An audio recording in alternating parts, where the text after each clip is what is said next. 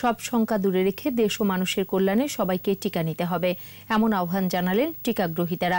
এদিকে কেন্দ্রগুলোতে বাড়ছে গ্রহীতাদের ভিড়।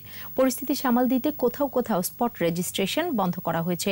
পঞ্চম দিনের টিকা গ্রহণ করেছেন মন্ত্রী, এমপি, রাষ্ট্রপতির সচিব, সামরিক সচিব সহ নানা স্তরের মানুষ। বিস্তারিত সাইদুল ইসলামের রিপোর্টে। করোনা ভ্যাকসিনের প্রতি মানুষের আগ্রহ বাড়ছে ব্যাপক হারে। কার্যক্রমের চতুর্থ দিনে গতকাল বঙ্গবন্ধু শেখ মুজিব মেডিকেল বিশ্ববিদ্যালয়ে নির্ধারিত সংখ্যার চেয়ে বেশি টিকা দেওয়া হয়েছিল। এজন্য বৃহস্পতিবার এস ছাড়া কাউকে টিকা দেওয়া হচ্ছে না। সকালে বিএসএমইউতে টিকা নেন রাষ্ট্রপতির সচিব সামরিক সচিব একান্ত সচিব ব্যক্তিগত চিকিৎসক সহ উনিশ জন সিনিয়র কর্মকর্তা। পরে তারা জানান সব সংখ্যা দূরে রেখে দেশ ও মানুষের কল্যাণে সবাইকে টিকা নিতে হবে।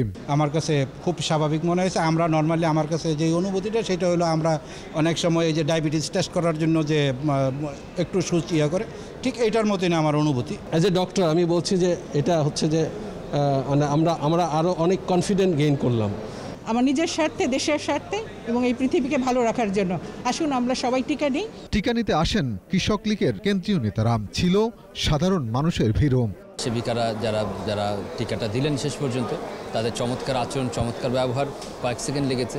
আমার কাছে অত্যন্ত খুশি লাগতেছে টিকা দিয়ে এবং টিকা যে দিল টেরি পাইনি যে আমার কোন সময় আমার টিকাটা প্রদান করা হয়েছে। পরজীবী করোনা ভাইরাসকে মোকাবেলার সাথে সাথে আমরা মানব সৃষ্ট ষড়যন্ত্রের ভাইরাসকে আমরা বাংলার মাটিতে শেখ হাসিনার নেতৃত্বে কবর দিই।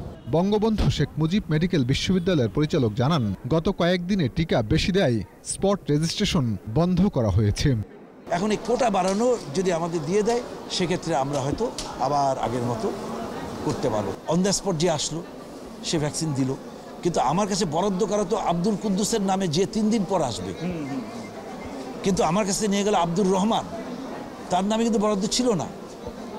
এমন সিচুয়েশন হতে পারে আমার কাছে যদি সাফিসিয়েন্ট যদি না আসে ভ্যাকসিন আব্দুল কুদ্দুস তিনি কিন্তু প্রথাগতভাবে এসেও তিনি কিন্তু পাবে কিনা আমি জানি না।